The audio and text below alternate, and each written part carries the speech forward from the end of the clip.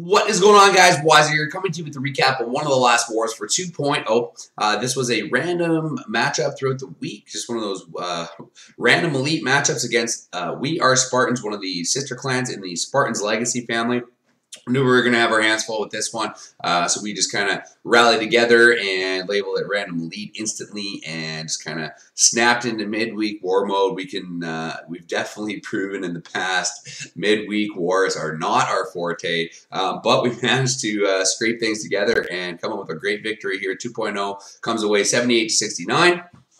Um, for for a midweek matchup was very very even on on the on the overall matching uh, four town hall 11s for both sides and then town hall 10s all the way down to number 15 for both sides. So that's really nice to see whenever you get these midweek matchups. A lot of times they're uh, pretty lopsided. The only kind of weird thing about the war was kane had an account on both sides. Wah, wah. so we just had him. We agreed. Um, we actually it's nice to know that a lot of other clients handle these situations the same. Uh, they just basically said to Kane, you know, unfortunately, uh, just don't make your attacks. We're not going to hit the base. Uh, we'll remove you from the clan for the duration of the war, just to make sure it's all fine and dandy on both sides. So that's what we did. So as you can see, Kane and Titan were left untouched, and neither of their attacks were used. Uh, so going down the board for We Are Spartans, they did leave a one star on this base and actually took four swings at it. I think that kind of hurt them a lot too, especially because I wasn't sure. I don't think Z Bear here was part of the not attacking deal. Obviously, he used his attacks, um, but they didn't even attempt on his base. So it's kind of weird seeing four attempts on this guy um, when this guy was just left on hit. Anyhow, as you can see, uh, some struggles for Weir Spartans. They did have to use, I think, six or seven bullies to finish up those nines, and they even left one on the board. So tough, tough day for uh, the Weir Spartans crew, but good day for 2.0. Got our 10s uh, stepping in, taking care of their 11s, no problem. Nice percentage too from Dennis on that one. I'm going to show this one real quick. Show uh, show how we're doing our step ups. A uh, few successful Town Hall 11 versus 10 bullies in there. Even a couple 10v10 trips. Uh, cleared the board all the way down. Did not have to use any bullies, although it did come down to our very last Town Hall 9 attack to three-star their last Town Hall 9 base uh, to clean it up without bullies. So really good job. I believe it was me and Rob and maybe Tritosh, whoever it was at the end. Um, Tosh wasn't even in. Oh yeah, he was. No, it wasn't Tosh. I forget who it was. There was a third guy other than me and Rob waiting. Maybe it was Val. Must have been Val. Anyhow, uh, so nice job by the nines, setting up the tens. Tens got all the swings they could, help clear up the 11. So uh, just overall, great war for 2.0. Let's jump in and check some replays. I did want to check out Dennis's 72% two-star here on this uh, Town Hall 11. Uh, so, you know, has those max level Inferno Towers. Hard for me to tell if that's a max Eagle. I'm pretty sure it is, though. But only thing really not done here is the walls, I want to say. You know, it's a 40, 40, 20. So nothing to scoff at for this base. Um, I guess, sorry, it does need its expos upgraded. I think that's the only thing that's not done. But anyways, uh, you're going to see a lot of our guys are really loving uh, using this mass sort of baby drag uh, to take care of these boxy style Town Hall 11 ring bases. Now, the goal here is keep this queen alive because she's going to be getting her ass beat on entry here. And you can see a couple quick rages, just work right into those expos. Once the expos go down, I'm going to get another rage down here right away. Just keep her going. This is the focus. If you can get the queen to survive, think about these Inferno Towers, unless she stands like right in that little tiny bit right here or right here, you know, the Inferno Towers are very centralized. So you can essentially have your queen just walk around the ring, right? Keep her alive. I think he's going to have to drop one more rage spell here for in a second just to keep pushing through. Just nice patience. The idea, the queen's going to now clear the whole 12 to 9 side, basically leaving a free path right into the town hall. The only thing you got to worry about now is this side. So that's what he's got. These couple Valks. I uh, believe he's got a CC full of Valks with his king, and he's just going to walk the king and Valks down this side, basically take out all of those buildings, leaving only one place for the nine baby drags he brings to go, which is right towards that town hall. You're going to see this happen in a minute. Any second, he's going to go ahead and send in these Valks and the King. Nice job with that queen, though, clearing that side. She's about to make her way over to that third expo now, so really great value on this queen walk for Dennis. And then come the Valks, right? Immediately take an eagle to the face, but no big deal. He's going to have to hit that king ability quickly. Heal spell goes down just to keep them alive long enough, right? Clan Castle gets yanked out. Poison goes down works through that stuff. Eagles smashing down on them, but under the heal, even though they're, they are getting the value that they need here, just really need to basically clear out the rest of the buildings. And job is done. Queen finally goes down over there. King goes down, but this huge horseshoe, 62% of the base he's got, still not using 90 plus troop space and a spell even as an earthquake, I believe, he's going to drop over the core just to soften up all these buildings. There it goes. In come the nine baby drags. There is no way possible that a couple Teslas and a couple Infernos are going to prevent them from getting that town hall. So down goes that town hall like butter. A couple more buildings will go down in the process. Already at 71, 72% now. Very, very sexy hit, Dennis.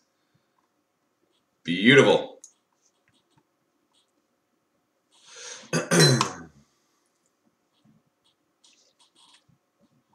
All right, let's jump down. We're going to check out some of these Town Hall names. Where do I want to start? Not too far down. I got a lot right in the middle of the pack here I want to show you. Start, start off on Val here. Thought this was a kind of interesting base. I like this little Wiz Tower setup he's got going here. Uh, mostly out of all of the, see how, see where these air defense placements are? I mean, yeah, like that's perfect Wiz Tower placement. Um, not in range of not even one. Maybe if a hound was like on that odd corner, that Wiz Tower would target it. Same thing with this one. But other than that, very, very uh, good Wiz Tower placement, I thought. Nice little sneaky Tesla farm. So Val just goes ahead and recognizes that, takes the entry right in at the Teslas, take care of those very, very quickly, get them out of the way they are a big threat to your raid whenever uh, whenever you got hogs, whenever you got pretty much anything. You know, those Tesla farms, if you're not prepared for it, you don't have uh, the heal spells or enough hogs, you don't have enough units to break through it, it will will punish your raid. So it comes at Clan Castle, poison goes down. It is a baby drag, a bunch of gods, and a Valkyrie. Very, very common Clan Castle right now. I'm doing almost the same thing. I do a baby drag with uh, a witch and the rest gods. Just basically, you're just trying to trying to hold up a queen walk. You're trying to just just make her spend as much time as they can, or as many spells or units as they can to take care of the clan castle. That's about all you can do with Town Hall 9 these days. So everything got let in. I thought this was an interesting choice to drop his king up here and not down with the rest of the pack. Uh, but doesn't matter. Queen steps up, takes care of that defensive queen, takes care of that expo, and in comes the hogs. There's not much for these hogs to work through. Really only, um, you know, this little bomb area gets that heal spell down nice and quickly. It's got to work through a cannon, an archer tower. He's got a bazillion hogs to do so. Absolutely crush this base Val. Bam, bam, bam. Couple high hit point structures to go. It's tree in the bag. This little six pack for Val. Right. Moving one up the chains. 21. The Great Patino. Bringing us a shattered, um, a shattered uh, Bolo. Sorry, lost my mind there for a moment. Um, little tricky Tesla placement there. I thought that was kind of neat. Really helping prevent that funnel on that town hall. so Pitt really struggling. Really wants to get that started down as quickly as possible. I like this attack because I also like the choice of the earthquake here. Um, you might think it really doesn't open up that much of the base, but it's just such a wide mouth into the base.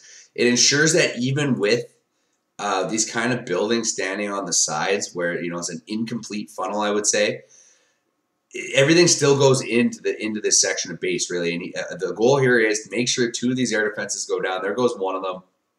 Queen is going to finish off that town hall step up behind this golem take care of the other one. So he goes ahead and just sends in the air air portion of the raid. Just a couple balloons around each defense. Nice little haste spell there. Just going to throw those balloons right on into the base does need to worry a little bit that pathing to this air defense is sort of a, a, longer distance, especially with that sweeper preventing anything from the from the sort of two o'clock to three o'clock side. But it goes down from the balloons. He dropped at six. Down it goes. Down goes that air defense. Really just got to work to that bomb tower. Work on over to this last remaining air defense. Queen is still in there with the golem tanking for helping out with that ability still intact. Nice freaking job. Pup's going on a little bit of a chase of the king down here. As you can see, just some trash buildings to go and a mortar. Bam, bam. Now, one thing I've noticed too, I've been practicing my um, my uh, God, I always forget to call this the bolalo, bolo. What's called the bolo?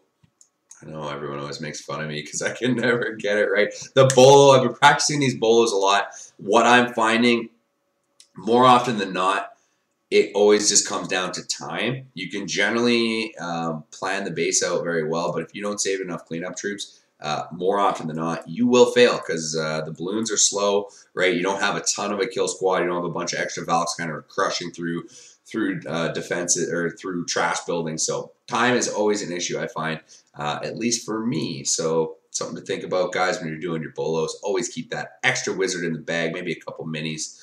Never hurts.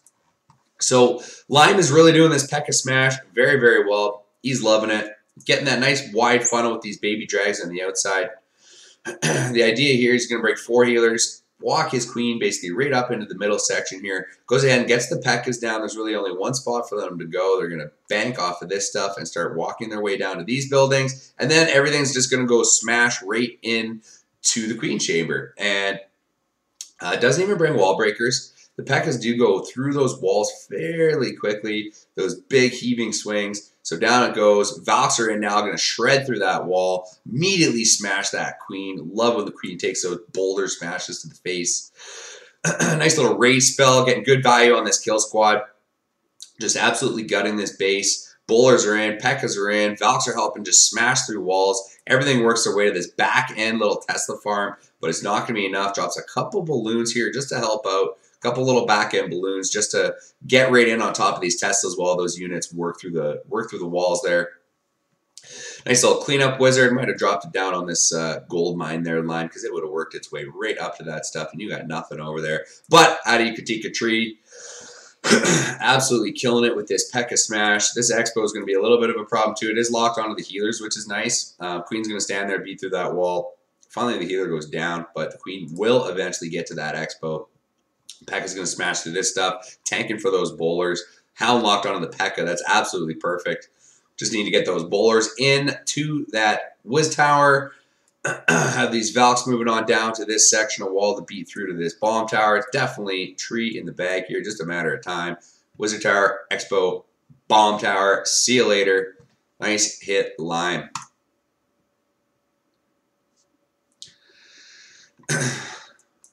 What do we got next? 18. Robbie. Rob's always very creative. Um, I find he like almost always tries to find a way purposely to bring at least a couple dragons to his raid. Uh, he's a very, very pro dragon kind of guy. Um, nice little Zapquake goes down. That air defense at six. Just going to buy that baby drag. More time to create a, uh, a nice, nice funnel over on this side. Goes ahead and drops that king and queen in. Uh, just going to suicide them and walk them up towards this defensive king. Right along beside this defensive king, you're going to see in one moment, is a row of uh, Teslas. So it's kind of nice that he really only used a couple couple of baby drags worth of troop space and suicided his heroes. He's gonna, you know, got the Zapquake down. Gonna take care of this Tesla farm at the same time. Drag swap goes in right on top of this queen chamber. Nice and clean drag swap. I think a lot of people forget about this in building your bases. When you put your queen chamber like this, with no buildings to funnel on the outside, and you can essentially, this little square of busted building, you can just drop the drags there and the queen's going to lock on and suck in right away. That is definitely worth 40 troop space, especially when there's no air defense around. Now these drags are just, I, am pretty sure one of these drags even, maybe even both, live to the end of the raid.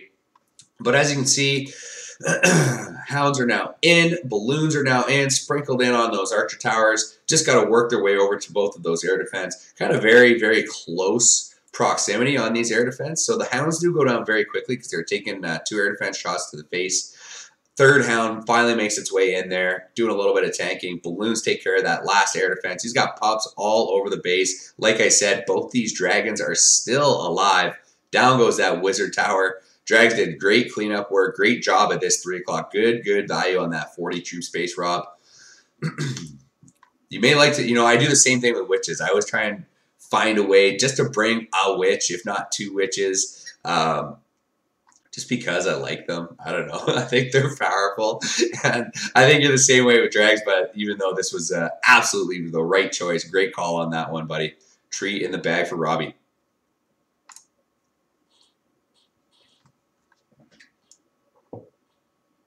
Um, what is next? I think we're into the Town Hall 10 action now. That's right. No, one more by Chad. Chad's patented quad Lalo. I don't know if he actually has it patented, but he's loving this attack. He can pretty much do this to any base. Um, same thing with a lot of attacks at Town Hall 9. I'm finding it's still always a good thing as an attacker to try and um, break down the base and exploit its weaknesses using your attack. However, that isn't necessarily 100% necessary at Town Hall 9 anymore. Um, you can kind of fit a few different attack styles into almost every base as long as your execution is on point. so what I'm finding, you know, I do this with Velar because I just find it so powerful. I never have, uh, you know, I, I, get a lot of triples, uh, fresh hit triples with it. So, I mean, I generally a lot of the time try and fit that attack into the base. Um, might not necessarily be the always the best way to do things, but it is possible. Uh, so if you're very comfortable with an attack, it's I always talk about how it's more important that oh excuse me it's more important that you are comfortable with the attack you're comfortable with the deployment you're comfortable knowing what goals you have for your kill squad or your troops as opposed to trying to like fit something crazy i could never do this attack in a war right off the bat like even if the air defense were very exposed i mean I probably still wouldn't opt uh, to do a quad Lalo like this. I'm just not, you know, I don't envision balloon pathing as well as I do Valk pathing, I would say. Um, so that's kind of why I lean towards the attacks that I'm more comfortable with. Because if you can really envision where your pathing is going to go and you can kind of see how the base is going to go based on the army you're bringing. That's what the most important thing is. If you if you're not sure what rotation your balloons are going to take, if you're not sure where you have to reinforce the balloons to ensure they don't stray from their path and they just kind of work around and start joining up into this death ball as you sort of pick off outer sections of the base, you can't do that. Then this probably is not the tack for you. But if you're the air master here, like uh, Mr. Flower is, uh, you're going to be able to pick apart bases left and right. You know, I know uh, a lot of guys, a lot of guys in the clan really opt towards um, uh, just the the bolos or or even something like this with a with an interesting quad quad lalo, nice little max out on the CC. Flower comes away with the tree star. Nice job, buddy. Um, now we're into the town hall ten. We got Dennis again. Great war for Dennis here. Nice high percentage two star in their Town Hall 11, and then comes away with the T uh, 10 versus 10 trip. Obviously, you know, I've been talking about this in a few different recaps, sort of the state of Town Hall 10. Some people agree, some people don't. You know, I had someone comment um, from, he is in Tactical Inc. He made a comment on one of the videos I made, and I was kind of, I, I was sort of bashing on the state of Town Hall 10 right now, and he was like, yeah, you know, like, he, he was saying he gets almost a triple every war against max Town Hall 10s. Obviously, not Town Hall 10s like this. These are not exact. These aren't, aren't what we're talking about when I'm talking about the difficulty at the Town Hall 10 level. I'm talking about maxed out Town Hall 10s, uh, very high war weight bases that are very, very tough to three star. And I'm not saying they're impossible.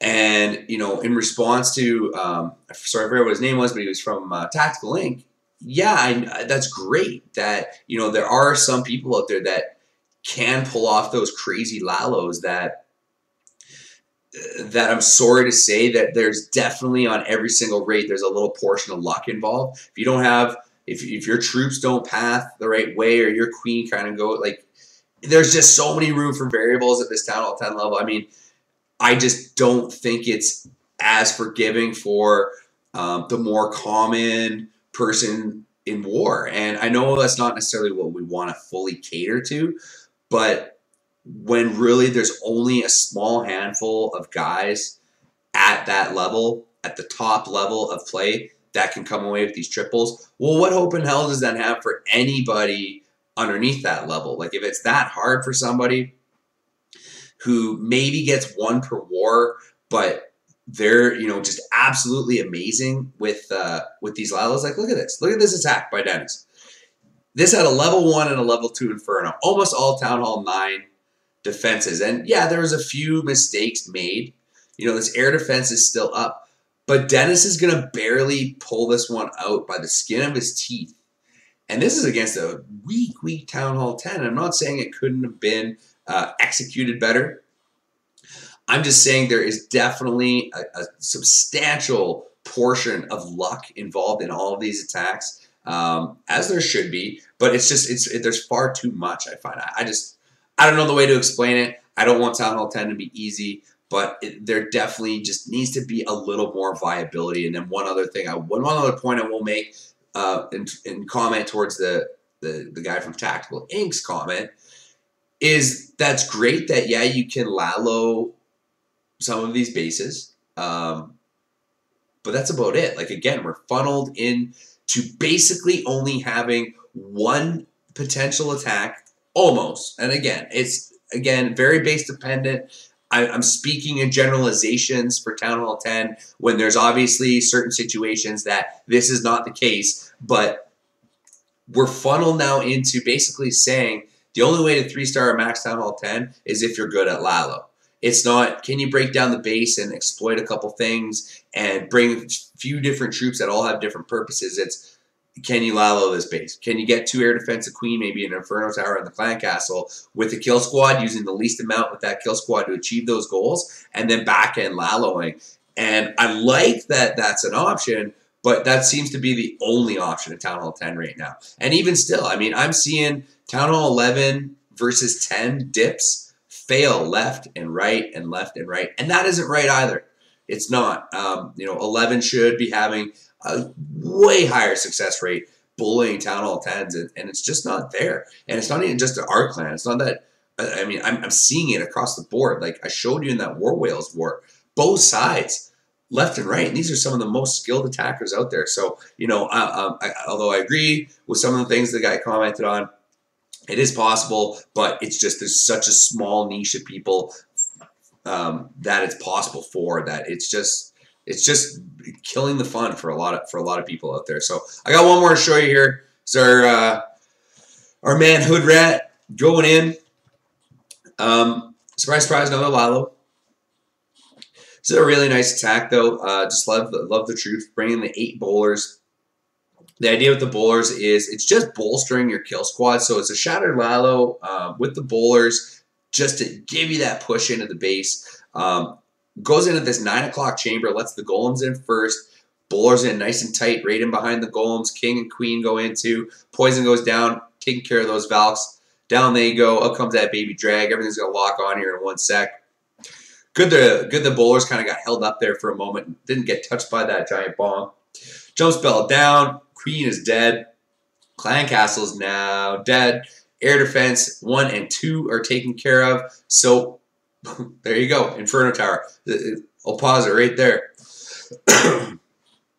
this this is the, what you're going for in these attacks, whether it's a level, they're level 2 Infernos or level 3 Infernos. It's just going to take you a little more to get there against the max base. But this is the idea, right? If you can get two air defense, get the queen, get the clan castle, just like we've talked about for the last year that I've been on this channel, you're looking in pretty good position to run your Lalo. Now, um, couple balloons going in here. Nice, good balloon deployment too by Hoodie. Gets a couple in on these outer defenses with no chance of air defense. Few in, backing up the Hound, going in at that uh, air defense number three. Nice little freeze spell just to keep it alive on the Tesla, the Inferno, and the air defense there. So really good placement of the freeze.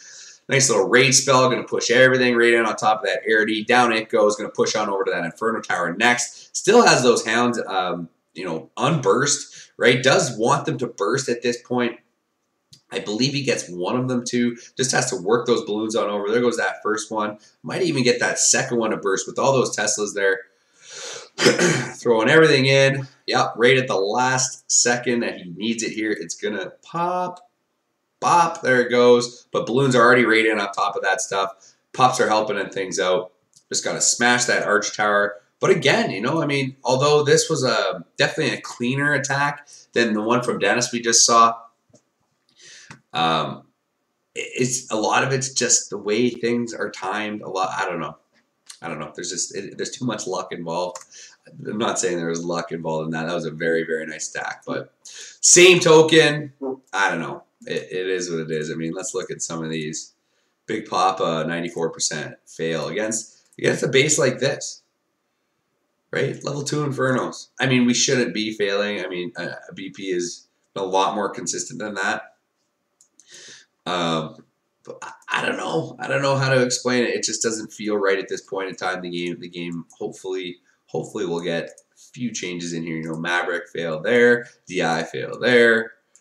Sort of point out the uh, the dip fails, guys. But it's a, it, to me, it's a big piece of the game right now. It's a big, you know, it's like it's like the war of dips. However many town hall 11s can be successful at dipping on the tens, that's, that's sort of where the game's at right now. And if you happen to get, you know, a couple TH10 three stars against um, some lower weight tens, then eh, that's that's just helping out. But I don't know. The name of the game right now to me is um, successful 11 versus 10 bullies, and I don't know. I don't. I don't like that. I don't like saying that. I don't think that's where the game should be. But anyhow, thanks for the war. We are Spartans. Always a pleasure matching up against your family. Uh, know you guys had a tough day, so uh, hopefully, uh, hopefully next time we won't have Kane on both sides, we'll have to make these little freaking rules, and uh, we can just have at her. But once again, thank you. Great war. Nice job 2.0. That'll do it here for your wisdom from Wiser. Just trying to help to bag that next tree star. Till then, I'm out.